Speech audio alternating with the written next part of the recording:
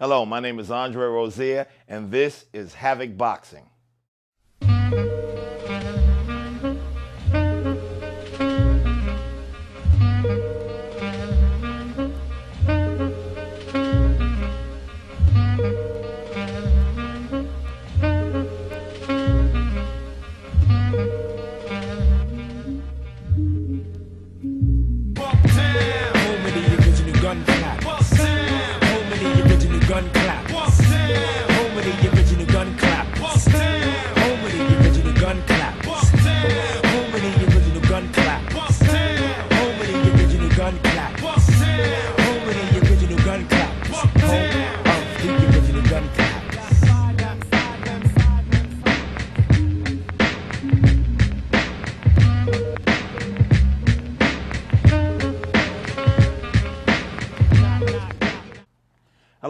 Have two very special guests today middleweight contender Curtis Showtime Stevens and welterweight prospect Sadam the World Kid Ali gracing us for the show today.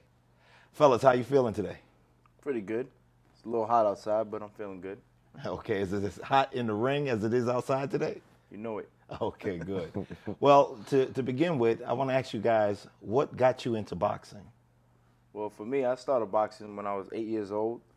Um, I had a lot of sisters and cousins lived downstairs, so I was around a lot of girls, a lot of females. So my dad wanted to take me to a man's sport because I was playing little girl games, honestly, like pity pad and you know just duck duck deuce running around. You know, just, my dad wasn't. He was like, you know what, I gotta take my son to to a manly sport.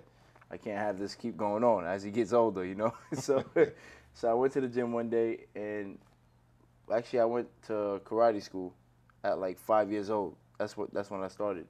And um, but what really got me into boxing was I was watching Prince Naseem Hamed, which is a British Yemeni boxer, and uh, he he inspired me to start boxing. I mean, he was a guy that dances, that comes to the ring. He was exciting. He's a great fighter. He was fun to watch. So that's what motivated me to start boxing. Okay. And how about you, Curtis?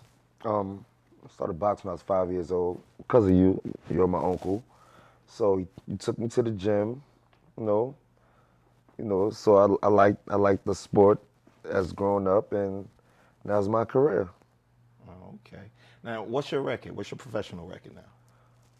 Twenty four and three with sixteen knockouts, I believe. Okay. And how about you, Sadam? 16 and 0 with 10 knockouts.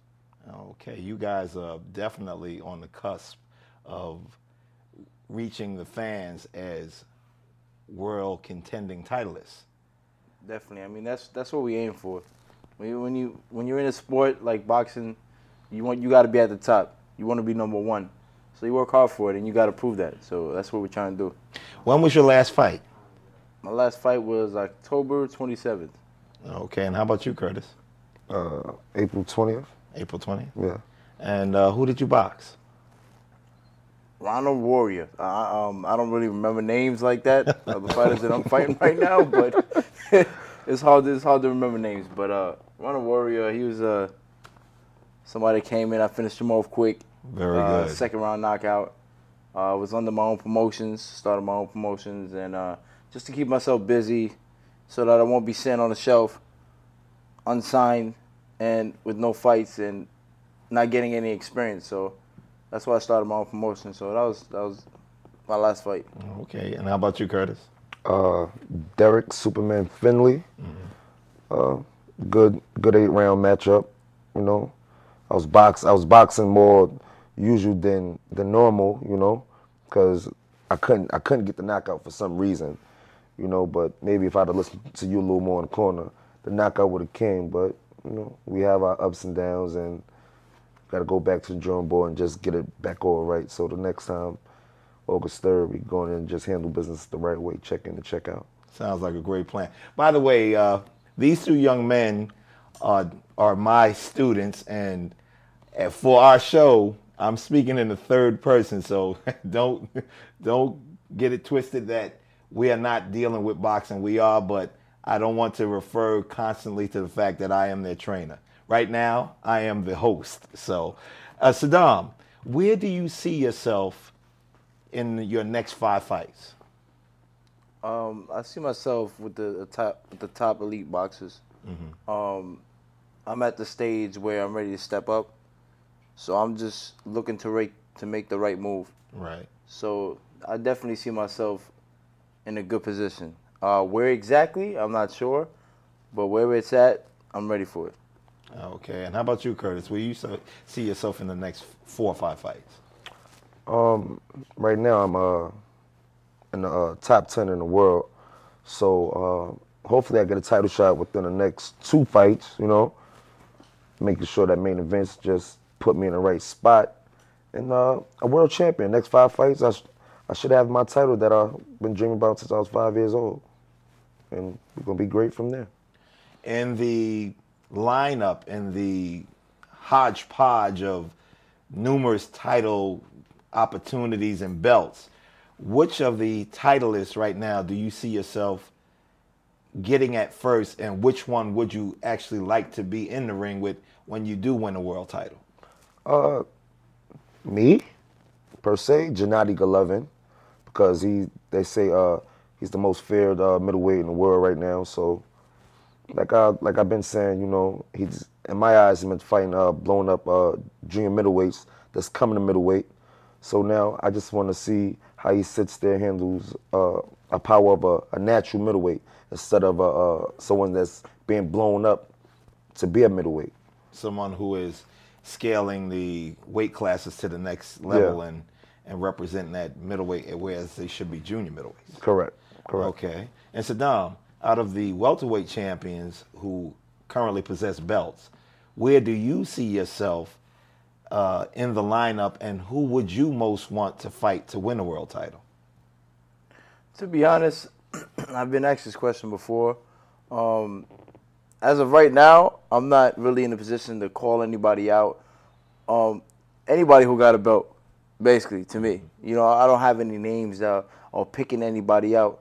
Whatever opportunity I get and whoever happens to be, I'll fight. You know, So who's ever at the dance, let's get it on. Huh? whoever's whoever's dancing, I'm dancing. Let's I dance do with like that. I definitely do like that.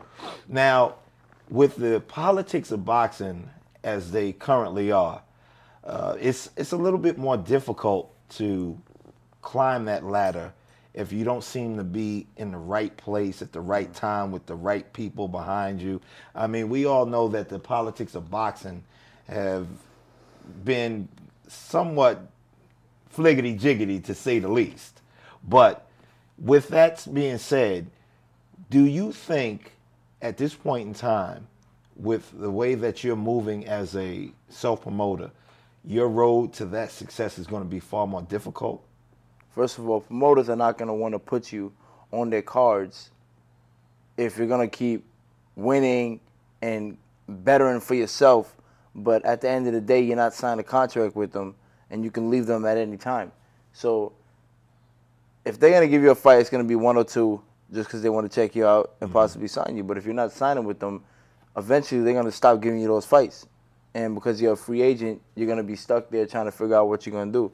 Nobody wants to work with you unless you sign that contract. Which but it true. just, which, which depends if you're ready to sign. You know, that's the thing with me. I wasn't ready to sign. Um, and that's why I took the route by myself. And I had to end up starting my new promotions because my own promotions because it got even harder. Right. But of course, my intentions is to sign with somebody, because that's that's the right thing to do. You just got to sign with the right person. And at the time, I wasn't ready. Well, I'm going to switch to trainer mode for a quick second. Now, being that you are traveling a, a far more difficult road, you know that you must always be prepared. So, how do you keep yourself on that A list, on that upswing, so that you're always ready to box? Well, one thing you got to stay in the gym, and you got to stay focused. One thing with boxing, you, you can't you can't let things distract you too much. Um, and this is why I have my own gym, which is a good thing. Uh, I don't have to depend on somebody opening the gym. I can go whenever I want.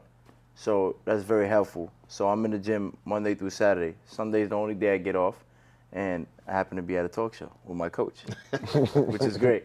Um, He wasn't supposed to say that. uh, Curtis, let me ask you a question. You you were a storied amateur. When you turn pro, a lot of people expected big and wonderful things out of you. Uh, the road has been a bit bumpy. Tell us what you have done to correct those imperfections in your career and what we can look forward to now that you seem to be on a really good track. Um, you know, I, I didn't fight for two years, so And why was that? Uh, promoter promoter disputes. You know, now on the same page. You know, and, and not in very. Everyone that's on your team is not necessarily on your team, and I might say, but um, I didn't fight for two years. You know, I was training. I'm watching all my amateur guys win titles. They're on HBO. They're on Showtime. Everyone is just fighting except me. So you know, I asked my mother. I'm like, Mom, like, what? She like, she told me to pray. So I started going to church, started praying. You know, then eventually, like you know, I got out the contract. I fought. Um, I fought one time. Then I fought again. I, I won. The, I won the belt, the NABF uh, title. Then I signed to main events. You know. Then now, the road is just you know, it's all paved golden. But I just got to stay on my uh, my grind and my hunger to to just let myself know it ain't over just yet. Like you know, so I always sit back and, and say to myself, remember that two years when you was off, when you was crying, when you wasn't making no money, and when you just watching TV, because it could it could happen again, by the little the little least little uh, mistake of me not being trained very well, or I think this fight is going to be easy. So now I just look at boxing a whole different type of mindset. Plus, I have a son now, so it's not even like for me anymore. It's more for him than it is for anybody in the world. So I just got to stay on my grind and just keep grinding and grinding and grinding until until I get what I got in the game for. That's become unified middleweight champion of the world. a very daunting task, but uh, I honestly can say from watching you two men participate in the sport of boxing that it's easy for me to say that you two are destined to be world champions. If I'm speaking from this day forward, I could say, well, you two men will have uh, world championship belts around your waist. That's what I'm expecting we all know that you have to give 150% in boxing. And with that being said, um, the way the scope of the professional world is right now, with all the politics and and the um, the back and forths and everything else, the your razor's edge has to always be 100%. Now, with with the fight game as it is, and actually in this year 2013, the fight game has gotten a little bit better. There's some better matches taking place. There's some more competitive, exciting things going on. Um, I would like to know what you think will make boxing even more exciting, even more exhilarating, and of course, I'm one for knockouts. And who is going to be putting heads to bed in the next um, in the next coming months in the bouts that are taking place? Well, most boxing fans love to see knockouts. Right. So that, that's that's the most exciting thing about boxing. People want to see. It's not that it's not that they want to see somebody get hurt. They just want to see something exciting. And when you whenever you see a knockout, that's exciting. I just think um, I just think uh, more TV nets to cover boxing. You know, like NBC came in, and you know if we can have more TV nets to cover more more events. More exposure for the sport. More, yeah, more exposure Right. for the show, and um, let the heavy hitters on a little bit more. Mm-hmm. People, the people with punches, let them fight because you know you're gonna see knockouts like that. Um, so, but the, the most importantly is TV nets to cover it a little bit more. You know, to show the support and and, and let it shine. Oh, how, how do you feel about that, Curtis? What do you think would help to improve uh, what already seems to be uh, a great year of boxing? What would make it more exciting, more exhilarating, and, uh, and we're looking for, to see those fantastic knockouts? the right the right fights with the right people, the right matchup. because because what you have is some of the fighters like that they're not making uh, good fights. Say you have you have like we just Lamont uh, Matthysse, like you know Lamont comes to fight, Matthysse comes to fight, but we all know Matthysse was a is a knockout artist, like you know, then and he prevailed by knocking him out. So I believe the right matches with the right people, like you know, like I said, you have a Gennady Golovkin, knockout artist, Curtis Stevens, knockout artist, two knockout artists. Somebody's bound to get knocked out, you know. So that makes sense. Like you know, so just got the, the right the right matchups, Mm-hmm. and uh, I believe the favoritism of uh, promoters with cer- certain fighters, because now nowadays you have who they want to make champion and who they don't want to make champion, or the I, the I put it in terms the they give fighters the Sugar Ray road, then you have people like me that has the Hagler road that got to come up and earn my earn my championship belt. It's when you have fighters that's fighting no ones and getting belts. So True. the uh, I call it the fliggity, like you say, fliggity jiggity. so you know they just gotta uh, be straightforward and make the make the meg- the mega fights instead of the fights that they think people that fights that uh they think people want to see when they really don't. Right. That that sounds that sounds like a great direction. Let's hope that uh, the boxing world picks up on it and heads in that direction. Yeah. Let me ask you a question, Sadam. What's your best punch? Um, I will have to go with my left hook. Okay. I don't I don't know what it is about it. Uh, uh, most of my knockouts has came from a left hook, and I, it's not that I was expecting for it to be a knockout. It just happens. Did we sort of develop it that way? I think we did because uh, honestly, I used to never have power, and you know that. Uh, I was always I was always speed. I was real fast, but now I have speed and power. And honestly, I wasn't sure if I was gonna have power, but I don't know. I guess I'm I'm growing into a man, so that that manpower is kicking in. Your man so strength, huh? My man, my man strength is kicking in, and uh, it feels it feels great because as a professional, you need power. I'm sorry, you can have speed all you want, but you need some power as well. Um, in, in, in pro boxing, you need a lot. You need a lot. You need you need speed. You need power. You need heart. Um, You need a lot of bullets in your gun, huh? you need a lot of bullets in your gun. You got to have uh, great condition. Uh, y- your head's got to be real smart in the ring. You Right. can't just go in there thinking to stone a whole bunch of punches. People got to recognize that boxing is not just going in and being able to punch or being able to throw punches. Boxing, that's how Mayweather is so good because he's smart mentally in the ring. He thinks in the ring, and that's one thing you got to do. You got to think in the ring. Okay. How, how about you, Curtis? What's your best punch? Oh, this hook right here. This patented left hook. But to tell you the like the, to tell you the truth though, like I can hit you with anything. You're gonna go down, like you know. Mm-hmm. But like I always tell you, Uncle, you know, if you go down, you get up. I'm coming for the kill. So I, and my best, in the eyes that I, I should tell the fighters, just stay down. You're better off staying down. but left hook though, left hook.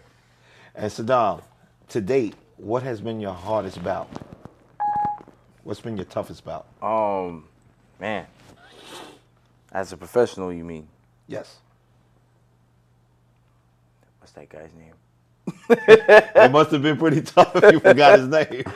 No, I, I told you I just I, I don't remember names. I mean, I might remember names as I get further in my career and start fighting fighting people like you know Matthysse or Maidana or even Mayweather, which would be great because I'll be rich. Nah, but uh, you know names like that I won't forget.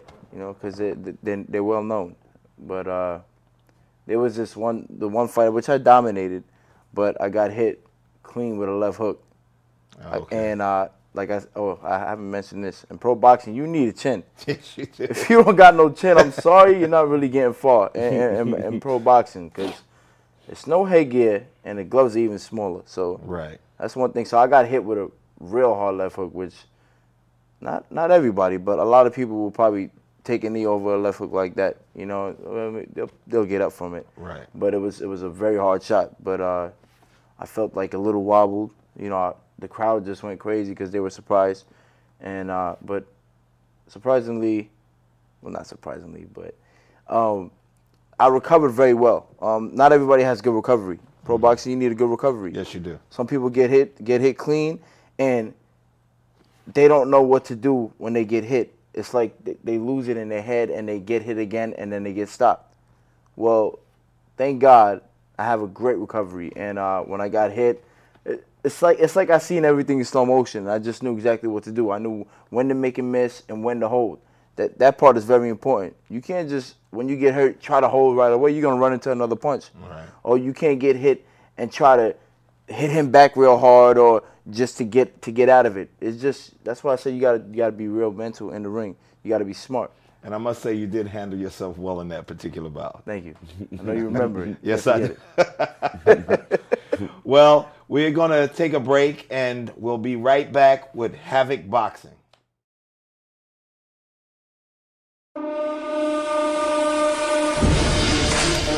Oh, what a left hook! First Arab American to represent the United States in the Olympics. What 200 amateur fights, two-time national Golden Gloves champion. Dom Ali, promotions, Promotions, a boxing to Brooklyn. Hand speed, cutting shots, accuracy, Ali is peppering Edmonds.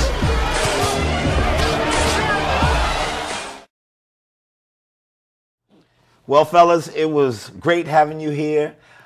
I'm pulling myself out of host mode and I'm going back into trainer ro- trainers mode. And we're back in the gym on Monday, getting ready for when's your next fight, Curtis? August 3rd, We're at? Mohegan Sun, And who's your opponent?